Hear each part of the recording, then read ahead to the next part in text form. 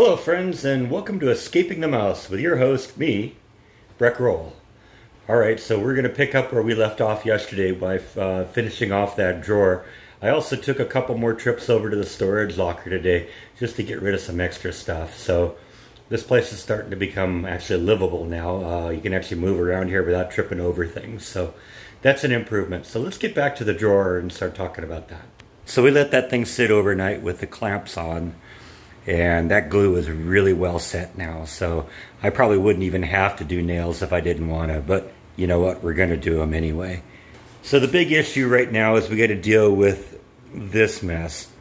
Now normally what I would do is I'd bring out bring out my uh, flush cut router and just route off that thing uh, real easy. It take that all of five seconds to do it.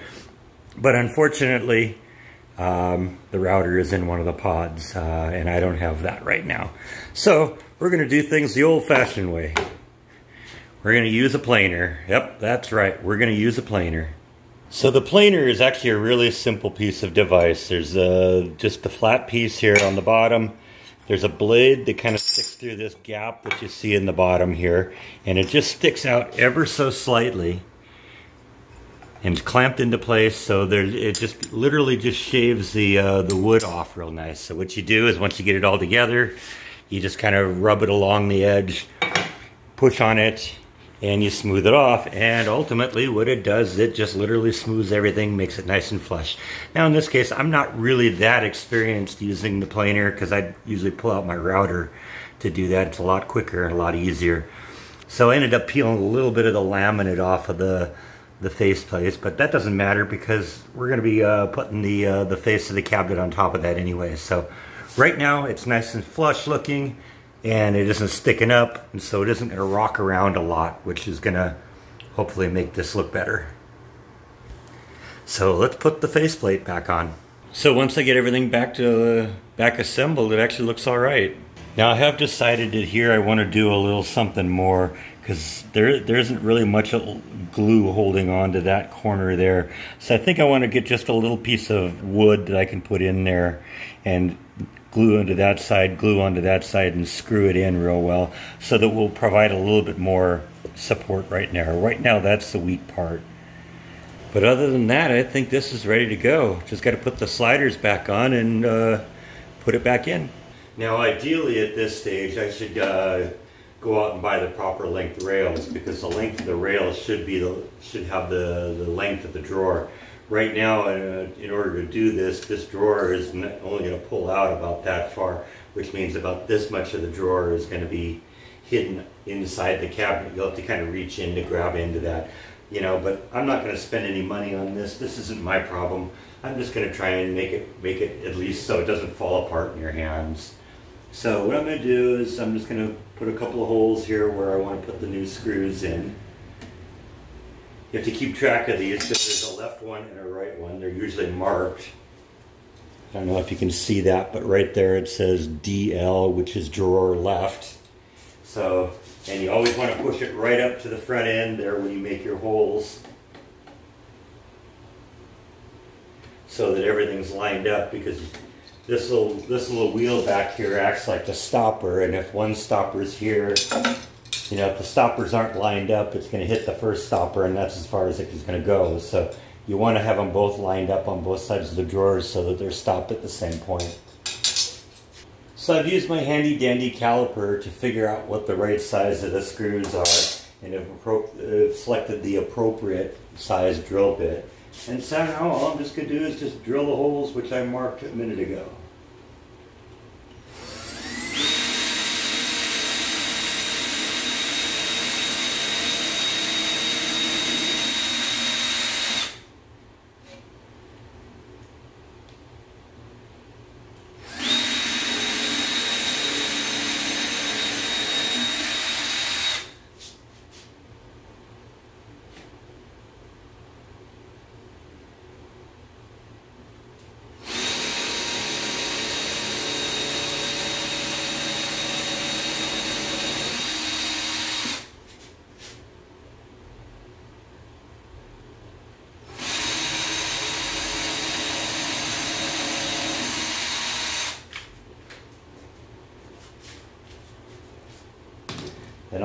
Do is attach the, uh, the rails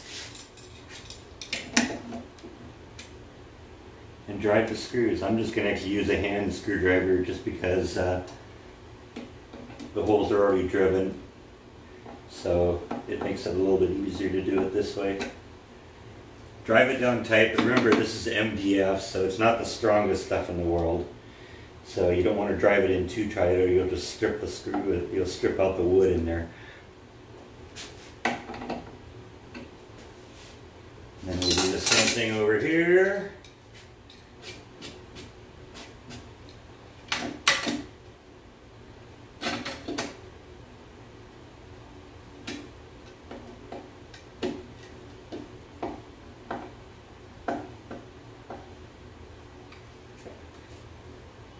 and here.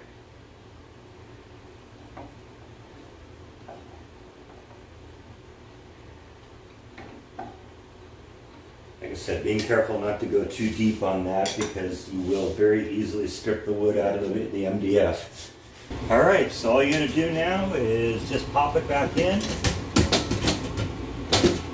And of course, open the range again because you can't do it without the range being open set the wheels over the top of the slider, and we are in business. Hey, it's at least as good as it was, right? Opens up, closes. Like I said, because uh, the right, the slider is so short, it doesn't open up all the way. So you just have to kind of deal with that. But you know what? It's usable now. And you just got to reach way under there to do it, unless you want to go and spend the time put some more sliders on there.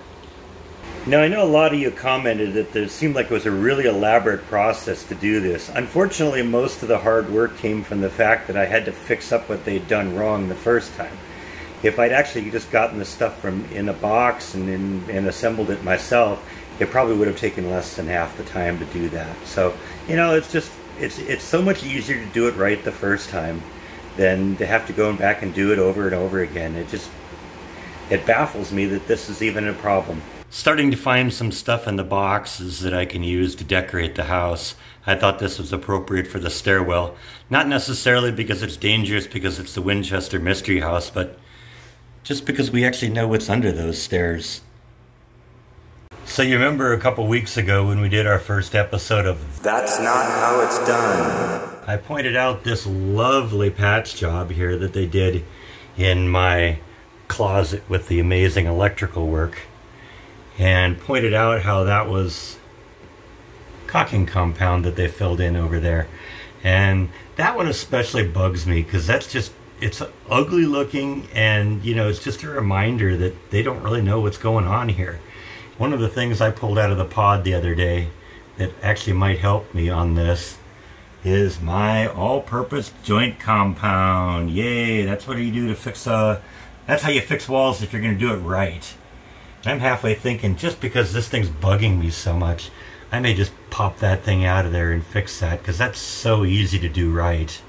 In the comments section of yesterday's video, somebody noted that this looked like it was a, river, a very nice piece of a kitchen counter that I had on the top of my workbench. Good call, my friend. This was from the counter in my old house. This is the piece that they cut out for the kitchen sink. Uh, I don't know if you remember the counter that much, but it was a big, very long piece of something. And so if they cut the hole out before they put the counter in place, it would snap in half when they were installing it. So what they do is install it in one piece, and then they cut the hole out for the sink. They let me keep the piece, and I just put it on my tool bench because uh, it's you know it's a nice solid surface. It's very very flat. It's very very hard, and it's done a good job for you know, 10 or 15 years. All right, so that's the end of this video. Thank you as always for watching, and I'll see you tomorrow on Escaping the Mouse. Good night.